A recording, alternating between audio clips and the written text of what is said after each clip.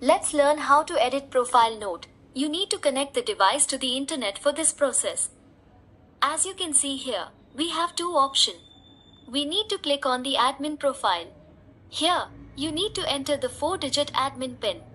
For example, my admin PIN is 1234, so I am entering the admin PIN. Now you need to click on the profile icon, select the student whose IDs need to be edited. For example, if we need to change the gender, we have to click on the gender icon. After that, we need to select the gender. We have to click on the save icon. Please enter the PIN to confirm. After enter the PIN, you will see this notification. Update student successfully. This means your student profile edit.